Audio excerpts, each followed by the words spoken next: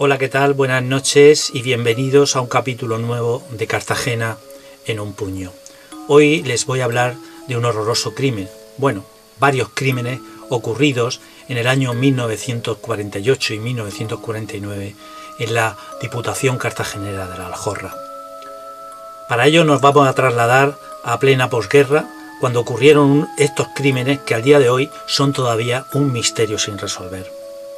La muerte en horribles circunstancias del matrimonio formado por José García Guillermo con Ginesa Hernández Hernández y un año más tarde la de Josefa Navarro Nieto, conforman una de las páginas de la crónica negra más escabrosa que se recuerdan en esta zona, hasta el punto que estos hechos le han dado el sobrenombre del pueblo del hacha, que fue el objeto con que se cometieron los asesinatos a la propia eh, Diputación de la Aljorra.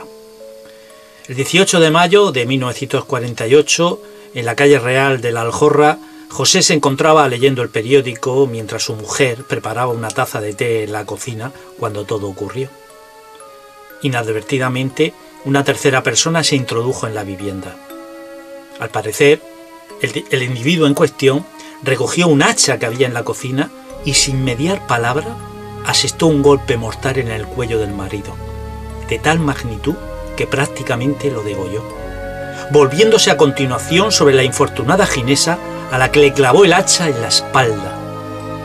Con los dos cuerpos inertes en el suelo, los arrastró al dormitorio, los metió en la cama y a continuación desapareció rápidamente de la escena del crimen. Sobre las 12 de la noche, el sereno, que hacía la ronda, se percató de que la luz estaba encendida y que la puerta se encontraba entreabierta, descubriendo los dos cadáveres ensangrentados. Pronto acudieron el médico, el cura y el delegado local de la Falange, en compañía de la Guardia Civil, y un numeroso grupo de vecinos que no daban crédito a lo que estaban contemplando.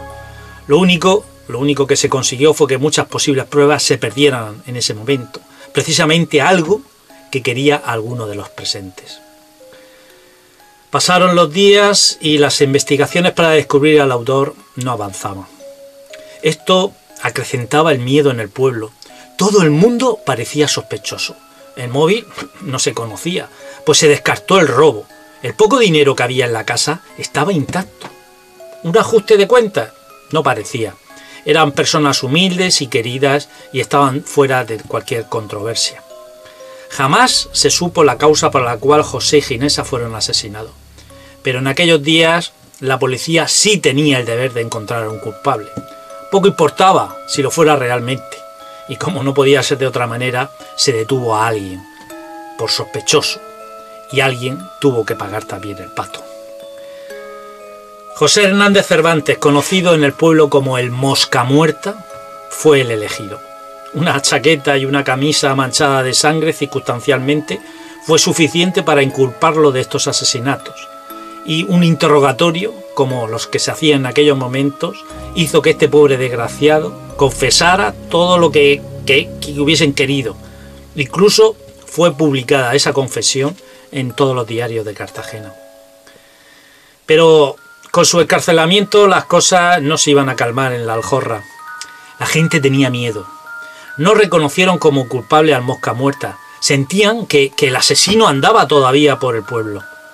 Así el 15 de mayo de 1949, el mismo mes, la misma calle y justo un año más tarde, Antonio Saura Rosique y Josefa Navarro Nieto, que eran dueños del local donde se encontraba el cine azul, que ese día se proyectaba la película El Caballero de Adverse, se encontrarían otra vez con la muerte. Mientras él se hallaba proyectando el fin, su esposa se arreglaba en su casa para ir a su encuentro. Mientras se peinaba, una sombra se abalanzó sobre ella y con un objeto cortante, posiblemente un hacha, la golpeó insistentemente. Aunque ella opuso resistencia y forcejeó, la mujer nada pudo hacer y cayó al suelo donde el asesino se ensañó con su víctima de una forma horrible. Tampoco en esta ocasión hubo un móvil aparente. robo, ni violencia, solo sangre. Mucha, mucha sangre. La Guardia Civil comenzó la investigación. El, mosca muerta no podía haber cometido ese crimen, pues todavía se encontraba encerrado en la cárcel.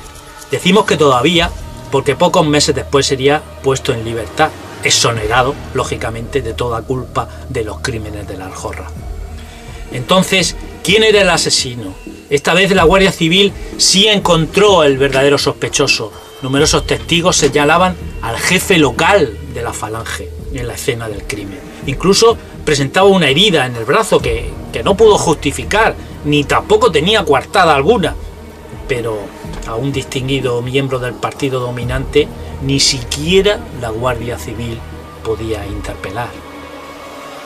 Tal eran las evidencias y las pruebas que fue detenido, acusado de tres asesinatos. Pero pudo más el aparato del régimen que no podía consentir que alguien tan relevante fuera acusado de tales hechos, con lo cual fue sacado de los, calabazos, de los calabozos, trasladado a otro lugar y lejos de la comarca se produjo su juicio. Para este camisa vieja fue declarado no culpable por falta de pruebas, desapareciendo para siempre el personaje que con un hacha sembró el miedo y el terror en la aljorra. Muchas gracias.